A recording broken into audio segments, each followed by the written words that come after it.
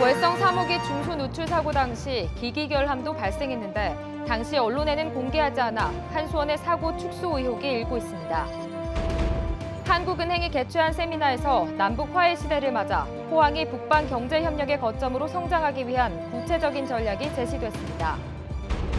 울릉군의 최대 수건 사업인 울릉공항의 연내 착공이 사실상 무산되면서 2024년은 돼야 완공될 것으로 예상됩니다.